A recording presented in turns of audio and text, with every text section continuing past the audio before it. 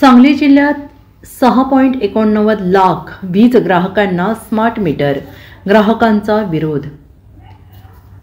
घरगुती वाणिज्य औद्योगिकसह जिल्ह्यातील सहा लाख एकोणनव्वद हजार चारशे पंच्याहत्तर वीज ग्राहकांना स्मार्ट मीटर बसवण्यासाठी महावितरणाने खाजगी कंपनीची नियुक्ती केली आहे. येत्या महिन्याभरात जिल्ह्यात कृषी वगळता सर्वच वीज ग्राहकांना स्मार्ट मीटर बसवण्यात येणार आहेत असे महावितरणाच्या वरिष्ठ अधिकाऱ्यांकडून सांगण्यात आलं आहे. जिल्ह्यातील वीज ग्राहकांना पुढील महिन्यापासून तुमच्या वीज वापरासाठी आगाऊ पैसे भरावे लागतील. केंद्र सरकारने अलीकडेच एक प्री पेमेंट योजना लागू केली आहे ज्यामध्ये ग्राहकांना वीज वापरण्यापूर्वी पैसे भरावे लागणार नाहीत. जेणेकरून जास्त वीज बिल आणि चोरीला आळा घातला जाईल. पारंपरिक वीज मीटरच्या जागी स्मार्ट मीटर बसवले जातील.